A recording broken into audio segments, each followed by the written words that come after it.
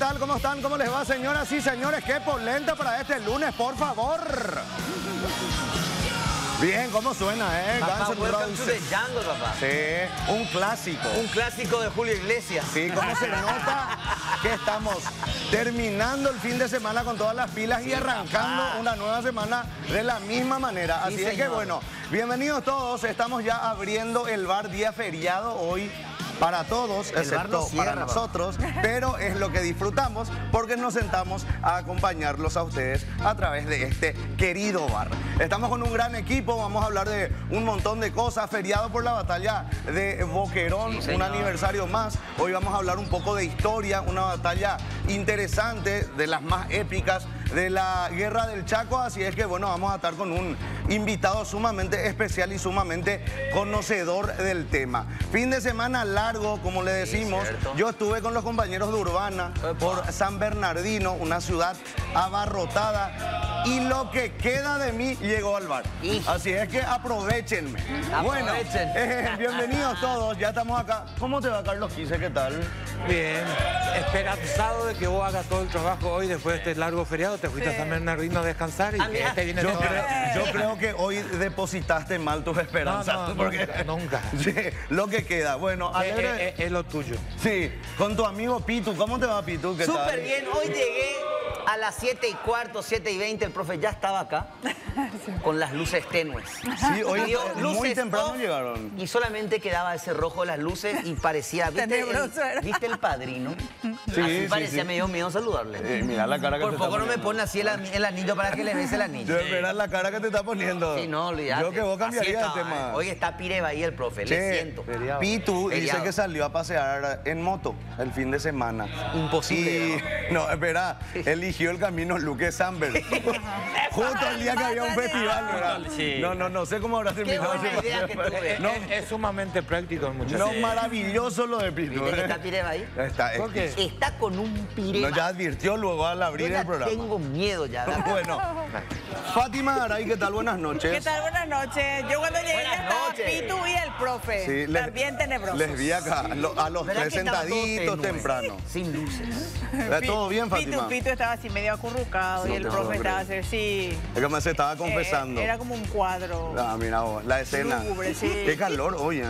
Terrible calor. hoy mucho calor. No, muchísimo, muchísimo. No teníamos ni un amigo con piscina. No, no, hay que pelearse con los amigos con piscina en esta época del año. Prohibido. Ya son los reyes del grupo. A partir de hoy hasta marzo más o menos. Camilo, ¿cómo te va? ¿Qué tal Arturo? Contentísimo. Bien feliz, no, feliz. contar. Pucha, recuperar la bicicleta. Bien ahí, papá. Eh, hay porcentajes de, de agradecimiento. Fátima Teresa Garay tiene Ah. por lo menos 50% Yo no de soy la policía. responsabilidad en todo esto. ¿Qué hizo Fátima? No, no puedo, no puedo ¿Qué? contar porque eh, me, me sorprendió lo hilo del poder. No puede No, ser. No, no, no, no. Impresionante. Hizo la investigación. No, pero Camilo Sí. ya investigó luego primero. Él ya aportó muchos Mira. datos. Que Ahí está Camilo como bici. esos detectives estaba la semana No, pasada. impresionante. Mira, hasta, hasta mi casco está colgado, ¿eh? Casi, Ah, con- casi con tu todo. casco Sí, ya está, ya está, ya está, sí. Qué loco, Camilo. Eh, Increíblemente apareció la Qué bicicleta. linda tu bici, Qué Camilo. Y Charlie fue Yo ni detenido. con mi aguinaldo compro eso. Y... nah, vos con tu... ¿Cuánto, cuánto cuesta una Decí la verdad, ¿Cu- decí la ¿Cuánto cuesta tu bici, Camilo?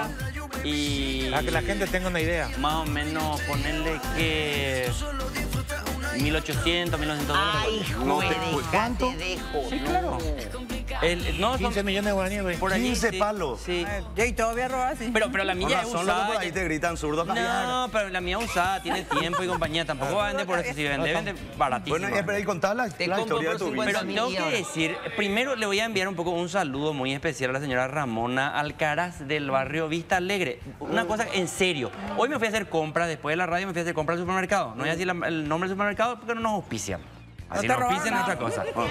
Pero en serio, entré para comprar tres cositas.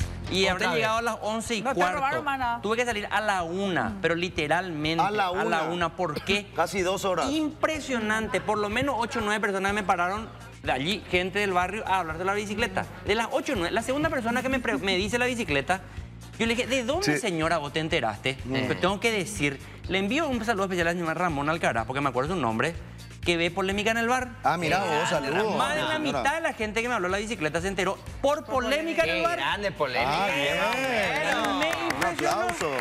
Así que Gracias, polémica tenemos muchísima audiencia allá en Charlie la zona Tobio, bicicleta. Qué buena Dios onda, mío, qué, qué, bien, bueno, qué che. bien le hice a este programa. Rayos. Bueno, che, bueno, ¿cómo te va, Tali? Buenas noches. Qué, qué linda, Tali. Verde esperanza. Meter tragos en breve. ¿Cómo está bien? Bien, qué linda. Hoy sos una Bueno, manzana hoy verde. lo que vamos a hacer, vamos a cambiarte el trago. Oh, Vamos a traerte una copa de agua, ¿te Sí, parece? sí, lo que menos necesito en este momento es un trago. Sea, no, Ah, no, no, Pero ya tenés que suspender, ya hablé No, lo que menos necesito, te dije. Ah, bueno, ahí está. ¿Cómo estamos? Pero ya que estamos en el bar igual, ¿verdad? Puede pasar. ¿Vos yo qué tal? súper- yo súper bien, feliz, porque Cami recuperó su bici. Camila, Sí. qué suerte. Yo creo que acá en esta casa... Camilo, quiero decir. Porque es lo que Cami te dice. Cami, eh. Cami. No, es lo que no hay que pelearse con los amigos que tienen piscina, con Fátima, no hay que pelearse. Cierto, tenés razón. No. Impresionante. ¿eh? Mejor tener la de amiga que de enemiga, Fátima Aray. Amiga, después Nada que ver. no, me están tildando. Yo tengo un Cualquier amigo que cosa. no me paga una cosa, no, no puedo hablar con... Pasar el. Hola, ya son los perros. Sí, Arturo, ¿cómo Pero no los te perros trajo agua? chupar nomás. ¿Cómo no te trajo agua? Pero, pero vos estuviste trabajando, Arturito, ¿verdad? No, no tuviste tiempo de tomar No, algo. estuve trabajando, obvio. Pero tomaste algo el fin de semana largo. Llevamos tereré, con todo el equipo del tereré, ahí con la radio. ¿Vos sabés no cómo funciona? No entiendo nomás por qué mientras No. Pitu leía la publicidad me pareció verte decir agua, agua. Me recordaba no. a Cartes cuando Espera. decía agua, agua. No, no, Lo no, tuyo. pero lo que pasa, hay una campaña luego que eh, te dicen que entre trago y trago tiene que ir agua. Ah. Sí, para hidratarte, Sí. así no se te sube rápido. Exacto, sí, y, y al día siguiente no te duele la cabeza Sí. y compañía porque Bien. eso es por Agua, deshidratación. agua fría tiene que ser. Sí, me contó un amigo. Así es que no. Pitu, Funciona. por favor, espérame un rato, Sí, porque quería hablar de esto. Vamos a hablar. Y la noticia decía, escandaloso el título, para arrancar nomás luego, ¿verdad? Y voy a leer exactamente cómo dice. 50% de los docentes que rindieron un concurso se aplazaron. Qué. No me es raro, ¿eh? De los más de 12 mil concursantes, solo la mitad obtuvo buenas calificaciones y aún quedan más de 40 mil por concursar. Dios. Esto es escandaloso, repito. Preocupante, imagínate. Yo creo que el 40 mil restante al leer esto y al ver el programa ya de estar- han de estar estudiando ya. Mm. Posiblemente. Hay rumores de que se filtraron también algunos ítems. ¿Otra vez? ¿Ah, sí? Sí. ¿Otra vez? La otra Eh, vez muchos están de- de- denunciando de que en los grupos del WhatsApp. Ah, ya sé, toca eh, esto, por zona, toca pues, y que algunos ya tenían algunas preguntas. Dios mío, peor, vente, más si ya te Sí. filtraron los, los ítems y te volvés a Que aplazar. aprenden de los Medio que alumnos a no- hacer eso. Medio que no hay caso, De sus alumnos que aprenden. Pero, pero en realidad esto, o sea, cuando generalmente en una clase, cuando se aplaza uno o dos de la clase, bueno, es un problema así Sí. focalizado, individualizado. Cuando se aplaza la mitad de la clase ya es el problema del sistema. ¿eh? Algo está fallando estructuralmente. Y que se aplace la mitad los, de los docentes, claro, la solución fácil es culpar a los docentes. Pero en realidad los docentes también son víctimas de un sistema educativo que no funciona, que hace agua por todos lados. O sea, nadie puede negar que en Paraguay, desde la caída de Astrones hasta nuestros días, creció mucho la cobertura educativa. Pero también es un hecho que nadie puede desconocer que la calidad de la educación está pésima. por el suelo. No sirve para poder sacar jóvenes que puedan tener capacidad de producción, de integrar en la sociedad. Y los docentes también son víctimas de ese mismo sistema. Se hace así en cantidad, cantidad, cantidad, pero no se trabaja la calidad. Ese es un problema. Lo que Yo pasa es creo que, que eh, es un sistema que claro. produce este tipo de profesionales, entre comillas, ¿verdad? Adelante, Carlos. No, la, la exigencia para llegar a, a ser educadores es mínima y es lo que dice Camilo. El problema no son los profesores, sino todo lo que ellos recibieron. Eh, enseñar se volvió un gran negocio en el país, ¿eh? en universidades privadas que no reúnen todos los requisitos, por eso tenemos problemas a veces hasta en una profesión bien compleja como la medicina, ¿eh? que nuestros eh, médicos recibidos en universidades pocas reconocidas acá van y se aplazan cuando hacen un concurso de, de aprobación en, en un país distinto. Entonces te estamos hablando cuál es el nivel de exigencia y sobre todo quiénes son los que controlan ese nivel de exigencia para mejorar en verdad la educación. Acá lo que nos debe preocupar a todos, cuál es el proyecto del Ministerio de Educación para ir mejorando. No digo en cinco años, pero en 10, 15, 20 Sí, a años. largo A largo a ver plazo, cómo mejorar Un cambio nivel, verdadero. el nivel de preparación primero de nuestros educadores para que ellos puedan transmitir después a, a- a los- a nuestros hijos, en mi caso a, a los nietos, para que esto mejore, porque el, el nivel educativo de Paraguay es, es pésimo. Sí, totalmente. Vos sabés que voy a mencionar algo, pero no quiero nomás herir susceptibilidades. Eri, sí que. Porque eh, en realidad es así o no sé si de- denme o no la razón, ¿verdad? Oye, es Eh, Lo que pasa es que la, en, eh, en la mayor parte de, de las familias o de nuestros jóvenes van a veces por el camino más rápido y más fácil. Por ejemplo, algunos se meten a ser policías, otros eh, te dicen estudiar dos años nomás ya vas a ser profesor. Así es. Y después, no sé, otra profesión que, que puedo poner de ejemplo, ¿verdad?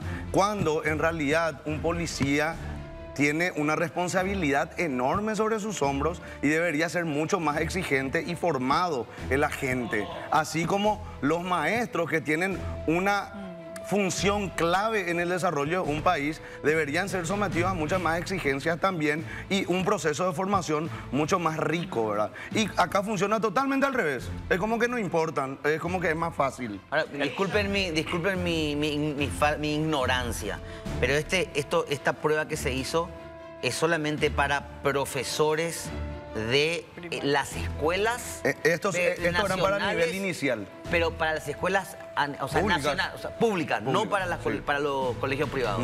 Porque yo te voy a contar algo. En los colegios privados hay también peor. cada docente que no sabe nada. Ni siquiera redactar. Le estaba comentando a Fátima, no voy a, que, no voy a decir el colegio, no es en el que le entra mi hijo, ¿verdad? Que entraban antes, pero una nota no saben redactar. No, para que te vaya a reunirte con ellos. Una Es que- nota. es que es un problema, no quiero ni siquiera. es un problema estructural de la educación paraguaya, no es público o privado nomás. En el sector público van a encontrar docentes muy buenos, en el sector privado también, pero son excepciones. El problema es que el sistema está produciendo mediocridad y lo que decía Arturito es cierto.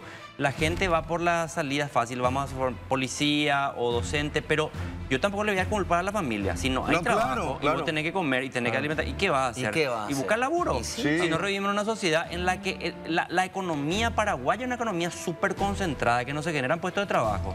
Y la gente necesita laburar para vivir. ¿Y qué vas a hacer? O sea, yo no le quiero culpar a la parte, al eslabón más débil de la cadena. No, claro. Acá la responsabilidad es política del Estado paraguayo. Hay que recordar nada más que hace, estamos en 2024, en el 2022, dos años atrás, eh, vísperas de las internas de los partidos, las internas coloradas básicamente, el Ministerio de Educación impulsa este proyecto de transformación educativa. El escándalo, no que van a meterse con nuestros niños, que la sexualidad, que los gays, que la lesbiana. ¿Cuánto tiempo estamos perdiendo en Paraguay con disparate? Con discutir esas cuestiones que nada tienen que ver con la educación de la sociedad. En vez de discutir las reformas necesarias del sistema educativo, nos podemos discutir, disculpen que utilice este lenguaje, el pilín, el tatú, la lesbiana, el puto.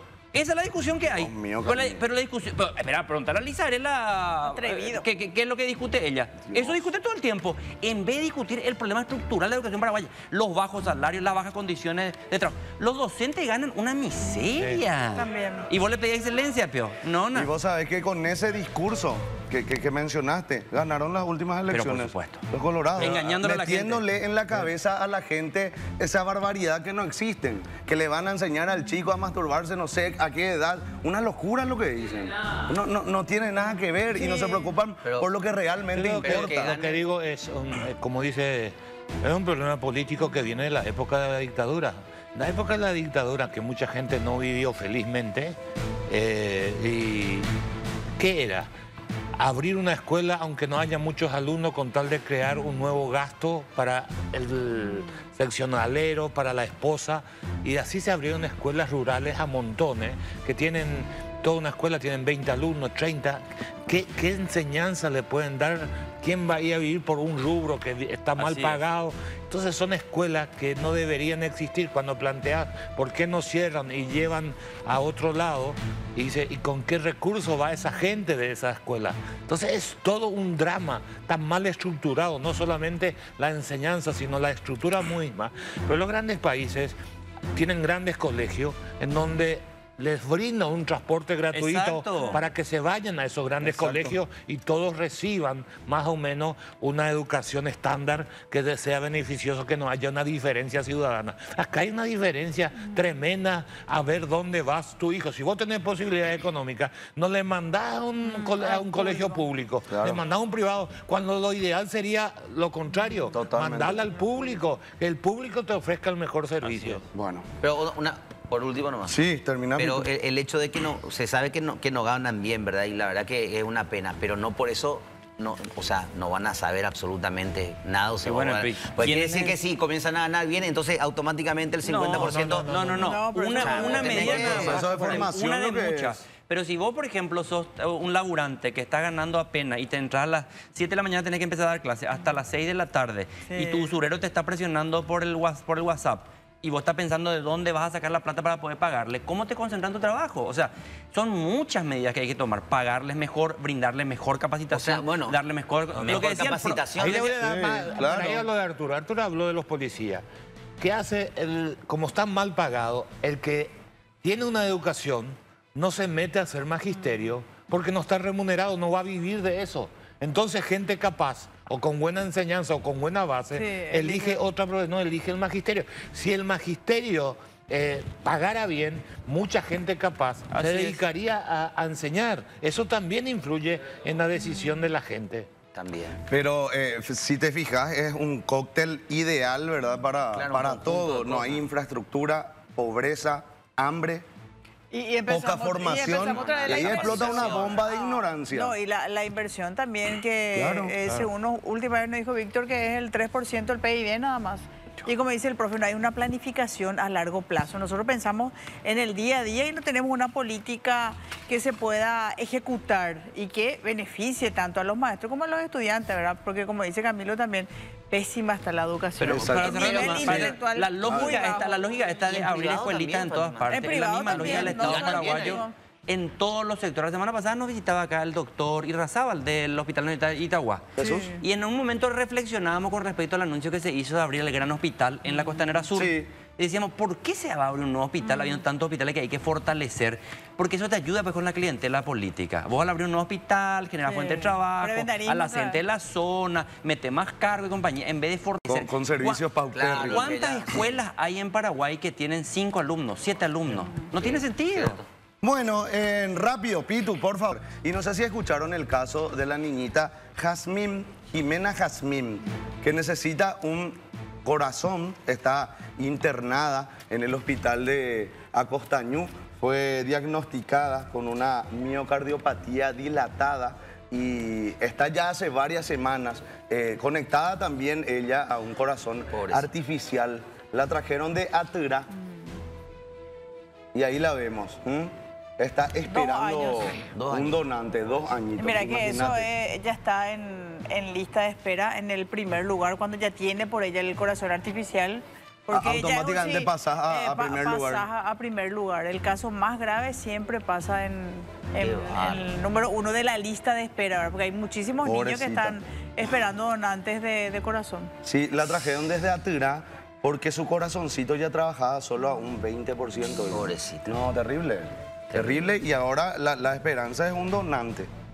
Mm. Y muchas personas en este país todavía son reacias, ¿verdad?, a, a donar órganos. Un, un pensamiento que de verdad deberíamos ir anulando. Porque imagínate, un, un solo donante puede salvar no sé cuántas vidas. ¿verdad? Que es el gran contrasentido. Yo siempre me, me- siempre me cuesta a mí acarreo que me puteen. Disculpen que hable en francés. Pero digo, qué hipocresía era la sociedad paraguaya que se declara tan cristiana y tan mariana que cada 8 de diciembre se va a peregrinar y entrega todo para llegar al rendirle culto a la Virgen de Cacupé. Pero después el, el- el acto más cristiano, el desprendimiento, el amor al prójimo, se reniega de eso. Yo la verdad que no entiendo ese nivel de hipocresía.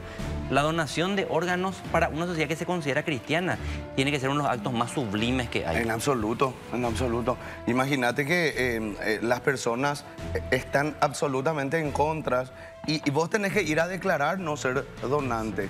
¿Qué tenés que tener en la cabeza y en el corazón, verdad? Para ir a decir, ¿saben qué? Cuando me muera me quiero pudrir, no ayudarle a alguien. Y es tan O sea, emocionante cuando se consigue y lo rápido que Sí. llegan para la operación.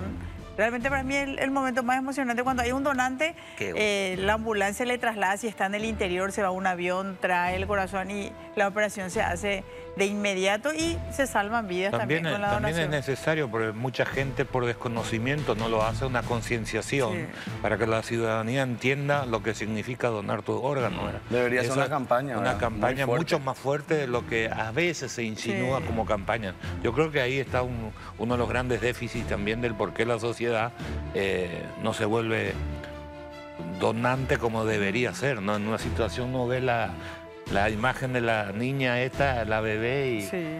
parece un amor, ¿no? No, claro, claro, de hecho es un amor, ¿verdad? Y, y no quiero estar en los zapatos de los padres tampoco, eh, estando en un país que tiene tantas, tan pocas posibilidades de brindarte eh, servicios de salud y sobre todo que también están con personas en contra de la donación, ¿verdad? Se, se hace doblemente difícil. Pero bueno, Piche, y ya se viene el invitado también y ya lo estoy mirando, sí, ya llegó, sí que.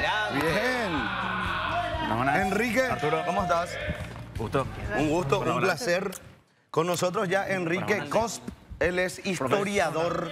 Hoy que estamos atravesando, o ya terminando en realidad, lo que es el feriado que conmemora también un aniversario más de la batalla de Boquerón. ¿Cómo te va, Enrique? ¿Qué tal? Buenas noches. Buenas noches. Enojado porque me hicieron venir un feriado, ¿verdad? Pero. Pero papá, enseguida bien, entonces- Doblemente gracias. ¿Qué, ¿eh? culpa, qué culpa tiene el feriado? Cayó así la Sí, fecha. no, pero suspendimos la batalla. Bueno, Don Bosco también con nosotros en esta noche. Repito, está con nosotros el historiador Enrique Cosp. Y ya hoy va a hablarnos un poco de la batalla de, de Boquerón, ¿verdad? Tan, tan conmemorada también y, y tan reivindicada, Enrique. ¿Por, por qué em, cargamos más eh, el homenaje, digamos, en, en la batalla de Boquerón frente a otras?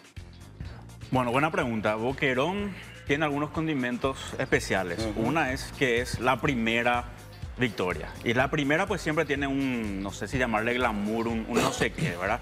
Eh, la gente se acuerda del primer astronauta, Armstrong, pero no te acuerdas del tercero. ¿Verdad? Eh, el, pri- el primer, primer papa es San Pedro, ¿verdad? ¿Cuál es el tercer papa? ¿Verdad? O sea, el primero tiene algo, ¿verdad? Que nos llama la atención. Entonces la primera victoria tiene ese destaque. Pero también Boquerón tiene un impacto psicológico muy fuerte en el ejército y en el pueblo paraguayo en ese momento, porque eh, tengamos en cuenta que nosotros, ahora nosotros sabemos lo que pasó. Paraguay ganó no solo la batalla, sino podríamos decir ganó la guerra, pero el que se estaba yendo a pelear y quien estaba esperando la noticia desde casa no sabía. Podíamos Claro. perder la guerra contra Bolivia. Entonces, ya que se vienen los bolivianos. Nosotros perdimos nuestra última guerra internacional.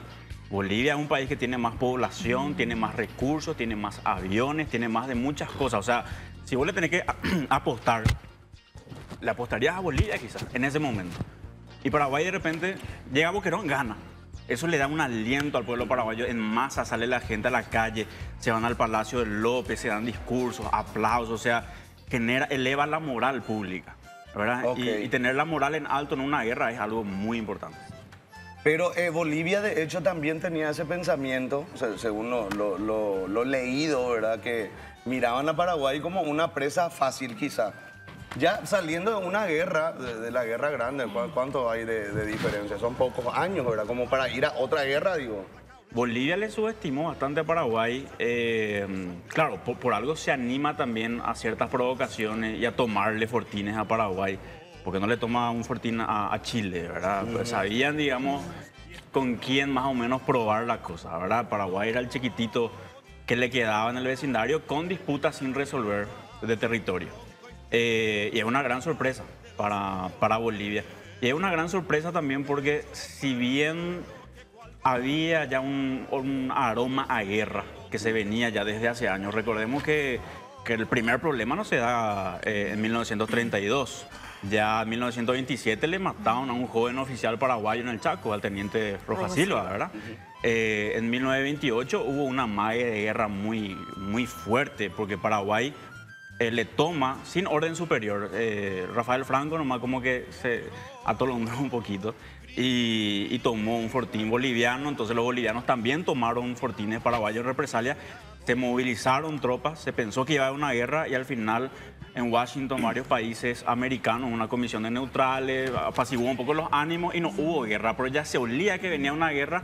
En el 32 podía pasar lo mismo, a lo mejor es una calentura del momento nomás, nos tomamos algunos fortines y arreglamos esto la próxima semana, pero no se arregló, Paraguay golpeó Claro, fuerte. Pero la estrategia paraguaya también era eh, apostar todo a Boquerón, ¿verdad? Toda la fuerza que podía tener, meterla en Boquerón como para tener ese efecto que, que mencionaste justamente de ser un aliciente para el pueblo paraguayo y sobre todo también para el ejército, ¿verdad? Porque eh, los bolivianos no esperaban tanta cantidad quizás de paraguayos que, que- llegaron finalmente a Boquerón, ¿verdad? Y, y tomaron el, el fortín. Tal cual. Pasa que ahí Estigarribia y el alto mando paraguayo pilló algo que, que muchas veces no, no se le presta mucha atención cuando hablamos de las guerras, porque esta es la parte, entre comillas, aburrida de la guerra, ¿verdad? Que es la logística.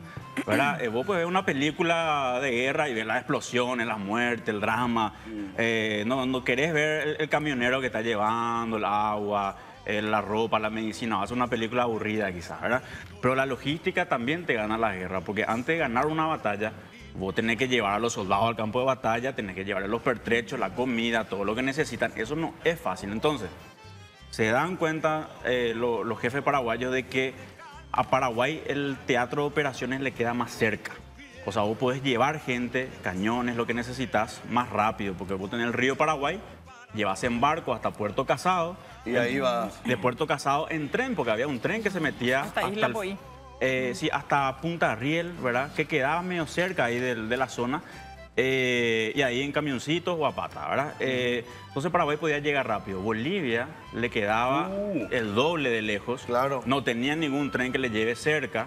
Tampoco En- ríos. en- eh, claro, entonces el cálculo es, nosotros pegamos fuerte ahora Mm. y a ellos montar y desplegar un ejército desde su centro de operaciones hasta Boquerón le va a llevar más o menos tres meses. Entonces vamos a pegar ahora y le sale muy bien. Ahora, el tema de los estrategia, intereses, ¿eh? sabemos que el- la guerra siempre es un choque de intereses, ¿verdad? Pero cuando hay intereses comunes hay cooperación, pero cuando hay intereses eh, que chocan, existe este conflicto, ¿verdad? Eh, ¿Qué interés tenían realmente Paraguay? Aparte del territorio que siempre se dice, ¿verdad? ¿Y qué países estaban detrás? Porque no era solo de Bolivia con Paraguay también. Sí, hay un- una versión muy distendida, extendida, es la de que habían dos transnacionales petrolíferas que estaban como que calentando el ambiente por detrás, ¿verdad? Eh, pero yo por lo menos soy contrario a esa visión. Eh, porque fíjense ustedes que la primera protesta boliviana es de 1852, o sea, 80 años antes de la guerra. Y en 1852 el petróleo todavía no tenía el valor que tuvo después, ¿verdad? Eh, y después hubo muchas conversaciones entre Paraguay y Bolivia, se firmaron varios proyectos de tratado que no se ratificaban en el Congreso, pero lo hablaron los gobiernos y no hubo acuerdo. Entonces, ¿qué pasa si vos discutís sobre un, terre- un territorio gigantesco por 80 años y no arreglabas las buenas, arregladas las malas, ¿verdad? O sea, con o sin petróleo. Podía haber caramelo también debajo del suelo chaqueño, ¿verdad? Y, y iba a haber una guerra, no porque haya una transnacional de los caramelos detrás, ¿verdad? Sino porque no había una forma de, de arreglar, ¿verdad? Eh, y, y un elemento que yo doy como para desmitificar la, la tesis del petróleo es que la Standard Oil de los Rockefeller, que estaba en Bolivia, poco después de la guerra del Chaco, le echan de, de Bolivia. O sea, ¿qué quiero decir con esto? Que no tenían ese control de Bolivia como para decirle, che, andate un poco y hacer una guerra con Paraguay, ¿verdad? No tuvieron ni siquiera el poder como para quedarse en el país. Pero además hay otra cuestión también que con respecto a eso que me parece más que es una especie de, de mito místico que otra cosa. En Paraguay no hay petróleo. O sea, el petróleo que ahora se dice que hay es un petróleo que en ese momento no era explotable. O sea, mm, no, no veo yo también que ganaban del otro lado avanzando en una guerra territorial para ocupar territorios que no estaban produciendo hidrocarburos. hidrocarburos. Claro, eh, eh, claro, en el Chaco Central no hay petróleo explotable, ¿verdad? Algunos hablan de que hay, pero que por Hay la petróleo, pero es que es que una tecnología que tiene ahora 20 años. Claro. En la década del 30 no existía eso. Claro, y a eso yo agrego una cosa más, que, o sea, para que la gente no piense que yo estoy en plan de abogado de las transnacionales y de, no sé, ¿verdad? O sea, la- la- hay corporaciones que han hecho cosas feas en el mundo, ¿verdad? Eso no se niega. Pero si te pones en el, en el rol de una transnacional que quiere hacer cosas un poco turbias, eh, ¿qué tiene que ver que Paraguay o Bolivia gane una guerra? O sea, ¿por qué no te vas y le coimeas al, a uno de Claro, los a gobiernos? uno de los claro. O sea, no- para mí no me cierra mucho eso. Bueno, Pitu, contanos, por favor, ¿qué tenés? Vamos a hablar de Algabo. La piel de tu bebé es única y especial. Con Algabo Baby, cada momento de cuidado se convierte en una conexión de amor y ternura. Descubrí nuestra amplia línea de productos. En ellos encontrarás la suavidad que tu bebé necesita. Algabo Baby, lo mejor para los que más querés. Dale a tu cabello el cuidado que se merece. Bueno, Algado con nosotros en la noche. Y, y la batalla de Boquerón también fue épica en materia de números, Enrique. Fue, un, fue un, encuentro muy, muy grande, muy fuerte. No fue la más grande. Mm, no no fue, fue la más en números no fue ni siquiera la de resultados más impactantes. La de Campovía, por ejemplo, fue mucho más grande. Una, yo diría la, la victoria militar más grande del Paraguay en cuanto a números, ¿verdad? Eh, se le dejó a Bolivia prácticamente sin ejército en el Chaco por un rato, ¿verdad? Después de Campovía. Pero sí, fue intensa la batalla y duró 20 días. 20 días de batalla. 20 días, tanto así, o sea, lo que nosotros, 20 días. nosotros conmemoramos el final. Claro. Ayer, el 29, fue cuando se rinde el Fortín, pero empieza el 9. Y tanto así que en Bolivia también se conmemora Boquerón, a pesar de ser una batalla perdida, es tanta la resistencia. O sea, imagínate vos estás eh, con- en una adversidad numérica. Los paraguayos que te, te rodean son muchísimo más que vos. Vos no sabes si van a llegar refuerzos, te quieren mandar refuerzos, porque los paraguayos le bloquean también los accesos, no pueden llegar los refuerzos. Se te están acabando eh, la comida, las municiones, El agua. te quieren traer El agua. ¿eh? por aviones le querían tirar, por los aviones de esa época no eran muy precisos, ¿verdad? Entonces fallaban mucho las cargas y caían en, en tierra paraguaya. Paraguay Los vez. paraguayos frente a los bolivianos agarraban sus pertrechos Dios. y aguantaron 20 días, ¿verdad? Entonces en Bolivia, a pesar de ser una derrota, se conmemora y se les considera héroes a los que resistieron. Así es. Y en Paraguay se celebra a los Pero en que Bolivia vencieron. tratan como una derrota o... Es que categóricamente es una derrota, ¿verdad? No, pero ellos dicen, porque a veces pues en los otros Vos decís países que transforman también la historia. O sea, tienen su versión. Y no creo que ningún historiador boliviano se anime a decir ganamos, pero lo que a veces hacen es te- en algunos momentos te edulcoran un poco. Ahora, por ejemplo, a veces se repliegan los paraguayos, van para atrás y es una cobarde retirada paraguaya y cuando se retiran los bolivianos es un repliegue estratégico. Ahora, eh, sobre la estrategia de la guerra, ¿qué, qué opinión tenés? Y para mí que Paraguay hizo casi todo bien en esa guerra. En ese sentido, ahora podemos filosofar que la guerra en sí, bueno, es una derrota porque es una forma fea de resolver el conflicto, pero en términos de lo que había que hacer para ganar la guerra, Paraguay hizo casi todo bien. Y ahí yo resalto un poco la figura de José Félix Estigarribia, que Fue clave. ¿no? clave fue porque había como que dos mentalidades. Una mentalidad vieja eh, de, de los que tenían el chip todavía de la Primera Guerra Mundial, hacer una trinchera, ocupar espacio. Y una mentalidad vanguardista, ¿verdad? Eh, Estigarribia estudió un poco en Chile, después en Francia, venía con nuevas ideas y él dice, no nos vamos a quedar cerca del río Paraguay, hacer ahí trinchera y esperar que vengan los bolivianos, que es lo que querían algunos, sino vamos a meternos en el Chaco porque esta va a ser una guerra de movimientos. A mí qué me importa agarrar unos cuantos kilómetros cuadrados en el Chaco si el Chaco es gigante. ¿Verdad? No es el que va a ocupar todo el Chaco el que gana. Hay que encontrar al ejército enemigo y destruirlo donde está. Y le sale de maravilla. Y Hay la- muchos excombatientes bolivianos también que eh, suelo ver eh, cuando en, en videos, ¿verdad? Donde ellos le recuerdan con mucho cariño al final a los soldados paraguayos. Inclusive dice que cuando escuchan polcas paraguayas también, que le trae mucha emoción porque cuando estaban prisioneros eran eh, bien muchos, tratados, ¿verdad? Eh, ¿Cómo fue la- el relacionamiento entre los prisioneros bolivianos y lo- los paraguayos? Eso es algo muy curioso de, de esta guerra, porque muchas guerras dejan un odio muy profundo en los pueblos que Claro, participan. claro, rupturas. Claro, o sea, hasta ahora vos vas a encontrar gente en Polonia que odia a Alemania por la Segunda Guerra Mundial, ¿verdad? Gente en Japón y China que tienen problemas por lo mismo. Eh, pero el pueblo paraguayo no odia al boliviano, ni el boliviano odia al paraguayo. Y no solamente ahora, sino que ya durante la guerra hay expresiones de fraternidad. Cuando termina la guerra, en el 35, y al, al mediodía eh, se cumple el plazo para iniciar el cese al fuego, eh, se acercan los paraguayos y los bolivianos, se abrazan, se saludan, intercambian regalos. Unos días después se juntan lo- los altos mandos, ¿verdad? Estigarribia, Peñaranda de Bolivia, y hacen una carpa y se ponen a chupar, ¿verdad? Compartir anécdotas. Loco, Eh, ¿no? o sea, nadie no quiere ir a una guerra, No, nadie, o sea, nadie, nadie. En realidad a veces es culpa de, de algunos Claro, locos. ¿verdad que? Bueno, Bref, Pi, lo- los bolivianos estuvieron bastante tiempo en Boquerón. Unos meses. eh, Estuvieron los 20 días que aguantaron y después tuvieron un tiempito más eh, mientras Paraguay reaccionaba, mientras se- llegaba a Boquerón. Según, Claro. según tu Julio criterio, a septiembre, más o menos, según tu, criterio, según tu criterio, ¿cuál fue la causa de la guerra? Eh, y refuerzo un poco lo que dije antes, ¿verdad? La mayoría de las guerras, no todas, pero la mayoría se dan por cuando vos no sabes de quién es el suelo, ¿verdad? Cuando no hay un acuerdo. Y el problema más allá de Paraguay y Bolivia, el problema es que el- los estados sudamericanos al nacer, al cortar el cordón umbilical de España, se arma un zarambí tremendo porque no había un acuerdo de cuáles van a ser las, las fronteras, las nuevas los límites. nacionalidades, los límites, ¿verdad? Porque todo esto era de España, que no importa dónde termina y dónde empieza. Pero nacen los nuevos estados y casi todos se pelean entre ellos, ¿verdad? Todos tuvieron peleas con su vecino y casi todos resolvieron así sus límites. Y en 1932, ¿cómo estaban esos límites? Porque Paraguay tenía su mapa y Bolivia tenía su mapa. Claro, ¿Y cómo quedó Claro, después? claro, por eso yo a veces Ah. hasta me río, o sea, no quiero ser respetuoso, ¿verdad? Pero me río cuando vienen y, y se pelean los historiadores y te dicen, no, pero mira acá este mapa que dice que... Uno hace un mapa a su medida, ¿verdad? Eh, la verdad es que no estaba bien definido. Paraguay ocupaba pedazos del Chaco eh, sobre la ribera, lo que oye, eh, Villa Aye, Puerto Olimpo, Bahía Negra. También estaba asentándose de hace unos años en la, justamente cerca de Boquerón a través de la inmigración menonita, ¿verdad? las colonias de Filadelfia y todas las que están por la zona.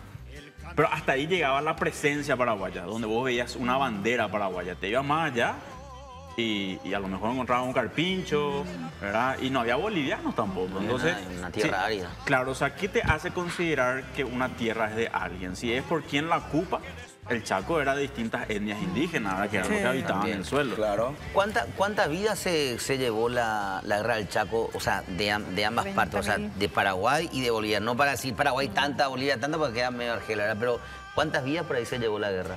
Y te respondo por primero una aclaración. Eh, un tema frecuente en, en las guerras es que muchas veces hay desacuerdo con los números, ¿verdad? Entonces se dice una cifra y después vuelan silla entre los historiadores, ¿verdad? Pero eh, podríamos estar hablando en torno a 80 mil muertos. Puede ser un poco más, un poco Qué menos, mucho, ¿eh? pero es grande el número. Mucho. Para ese momento, ¿tenés el cuadro de cuánto era la población de cada uno de los países? Y Paraguay estaba por los 900 y algo mil. Y Bolivia creo que estaba uno y medio a dos, algo por, por ahí estaba. Pero Paraguay venía diezmado ya también después de la guerra. Sí, del- golpeadísimo. Sí, pero igualmente. Y un tema, Enrique, que se habla poquísimo, muy pocas veces escuché que los historiadores se, refieren al tema. Estamos hablando de Boquerón, Chaco Central, allá arriba, ya en realidad. Eh, esa zona sí estaba habitada por pueblos indígenas, mucho antes de los menonitas, mucho antes de bolivianos, paraguayos. ¿Qué, qué- qué- qué hay con respecto a la ciencia histórica que haya investigado de qué pasaba con los pueblos indígenas en ese momento de la guerra? Digo porque yo supongo que para el ejército paraguayo eh, varios grupos indígenas eran vistos casi como enemigos y también para los bolivianos. O sea, ellos estaban en fuego cruzado. Porque Sí. ni eran paraguayos ni eran bolivianos. Claro, no, asumían esa identidad. Y bueno, de hecho, hasta ahora muchos de ellos se refieren a nosotros como los paraguayos, sí, ¿verdad? como no incluyendo. paraguayos. pasa en, en distintos conflictos, pasó en la Triple Alianza, pasó en el Chaco, que generalmente el, el grupo indígena que está más cerca de vos tiene como que cierta enemistad. Es decir, que los que estaban más hacia acá, eh, en algunos casos hasta les ayudaron a los bolivianos haciendo vaqueanos, provisiones, con cositas así auxiliares. Y, y el ejército paraguayo obviamente no le gustaba eso y se habrán hecho algunas cosas no muy agradables con, con algunos indígenas, ¿verdad? Eh, pero ocurría a la inversa, entrando más. La guerra después se va más cerca de lo que hoy es Bolivia. Y a los indígenas que están más cerca de Bolivia, ellos tenían contacto con el boliviano. O sea, sus problemas eran con el boliviano. que Y ahí le ayudan a los paraguayos. Y ahí le ayudan a los paraguayos. Claro, el, el opre- era el opresor, el opresor, el ocupante era el boliviano para ellos y aquí era Claro, el paraguayo, el para paraguayo, indígenas, claro. claro, por supuesto. Y para la ellos. cuestión geográfica también jugó eh, contra Bolivia, como mencionaste, ¿verdad? Por el tema del agua, el terreno sumamente difícil. Eh, Estigarribia viajó un par de veces previo a la batalla de Boquerón para conocer eh, bien el, el estado, ¿verdad? Del, del- del campo de batalla. Sí, porque eh, Bolivia es un país principalmente montañoso. Sí. Entonces es un terreno muy raro para el boliviano, ¿verdad? El, el llano chaqueño. No estaba acostumbrado. Eh, y por otro lado, esto que yo te decía, de la no es solamente la distancia que tenían que vencer los bolivianos para llegar donde se tenía que combatir, sino que cruzar Bolivia es muy difícil. Si ustedes se van alguna vez a Bolivia y se van en bus, irte de una ciudad a otra es una locura, porque da vuelta tu colectivo por la montaña, tardas Ah, muchísimo. sí. O sea, lo que sería un Asunción Ciudad del Este, el equivalente va a ser en Bolivia, 16 horas tardas. Hijo. ¿verdad? Eh, entonces, eso les juega un poco en contra. Eh, pero al, al final, Y con una carretera que te asusta todo el viaje porque mira así allá está el abismo. te da- le un poquito, te Ah, Así es. Y está esa ruta de la muerte que le dicen. ruta de la muerte Y que, esa es, que me da una. Finita. me da una, una conexión histórica acá, porque justamente la, la ruta de la muerte, que, que eh, te da miedo, eh, la construyeron paraguayos. ¿En serio? Eh, Sí, porque lo que hacían en los dos bandos, eh, para no tenerle tecorea a los prisioneros que vos le Claro. tenés que alimentar y demás, se le usa como obrero obligado. Y acá hicieron muchos caminos y cosas. Vos te vas al interior, hay famoso el tapeboli. Eh, en, Zap- en Zapucay mira, está el Sí, eh, ya y tienen en Pirayú, en muchos lugares tienen. Y bueno, allá le hacían hacer lo mismo por la montaña. Tal es así que yo una vez me, yo me estuve en la, en la- en la ruta de la muerte y hice un trecho ahí en bici. Y el- me atreví a pedir un descuento al organizador, ¿verdad? porque Paraguay hicieron la- el camino. ¿verdad? No Claro. me dieron el descuento, pero probé. Te tenía que ir con Camilo, que él Sí, también anda. para que te roben la bici. Tenías que ir tú ya con tu bici ahora cuando bueno, recu- bueno, bueno, bueno. Bueno, Enrique, te agradezco mucho, ¿eh? Qué eh, buena- la, qué buena la historia, visita. ¿eh? Qué bueno. Sí, sí, sí, no, no, no. Eso no sabíamos. buena la, la charla. bueno. Te agradezco la presencia, Enrique. No, a usted, yo le decía en broma que estaba enojado por venir, pero en realidad yo hablo de historias hasta en cumpleaños, ¿verdad? Así que... Pero da gusto escuchar No, da gusto escuchar, En una, serio. Delicia pues esta, esta charla. Bueno, tenemos Eh, vamos acá por de un para cara. esta noche. ¿Qué hizo? Bueno, eh, me pongo serio porque tengo una mala noticia. Oh, ¿Qué pasó? compañeros ¿Qué ¿Qué? pasó? de la audiencia. Y ahí la ven a Tali que estaba preguntando qué harían sin mí. ¿Y sabes Ah, qué? no, ¿qué harían sin pito? No, dije. ¿qué harían sin mí, verdad? Y sabes qué tal y no sé qué vamos a hacer Ay, sin por vos, favor. porque hoy la despedimos. ¿Por qué no me dijiste, ¿Qué? Tali? Ah, ¿qué tiene? Ah, Pero ¿qué es lo que no me festejamos? puedo Yo, así no- estamos Pero me tenía que preparar algo psicológicamente. antes. Espera. No, yo Sí, lo Me agarró sorpresa la noticia, ¿verdad? po? Bueno, Bueno, a ver, Tali, te escuchamos. Yo lo único, ah, porque Fátima va a llorar en serio. ¿Qué le qué Pero, pasa, pues, amiga? no hubiera dicho tal. Gente, yo estoy afónica, no crean que voy a llorar o qué. No, creo que Lo llores. único que le pido a Guada y a la producción es que no me eliminen del grupo porque voy a organizar, chicos, Ah, el asado escuchen. que nunca se organizó. Miren, Maravilloso lo tuyo. casi un año completo terminando el año en el, en el mejor programa que me han dado. Bien, bien, tengo bien. Con la mejor producción Qué y grande. los mejores compañeros. ¿eh? Ah, Ah. Te vamos a extrañar, Tali. A sos una excelente persona, no sos una modelo cualquiera. Tenés muchos conocimientos. Cierto. Pero no Gracias era la dueña del bar acá. Cierto. ¿Quién Ay, se pero yo me quería Y vendió ¿Quién se ya el a bar. ¿Y a quién le vas a dejar la llave? Vamos a rematar el bar. Tali, ¿a quién, le, ¿a quién le vas a dejar la llave del bar? Eh, ah, no sé. Vamos a hacer con lo Aguada. Guau, No, Guada va a tomar todo lo que hay. ¿Cuánto querés ahora? ¿Cuánto querés ahora, Bueno, amigo? yo me retiro por un tiempo, bueno, pero muchísimas gracias. Gracias, Tali. A toda, toda la gente del otro lado y por supuesto a todos mis compañeros Arturito, justo que íbamos a arrancar Viste, nosotros y viste. sigo No. para el año que viene. Ok, te voy a esperar. No vaya que se bola con lo del asado. Bueno, No, no, voy a organizar. será hasta mañana, señoras y señores, para otra edición aquí en el bar. Los esperamos. Chau, chau.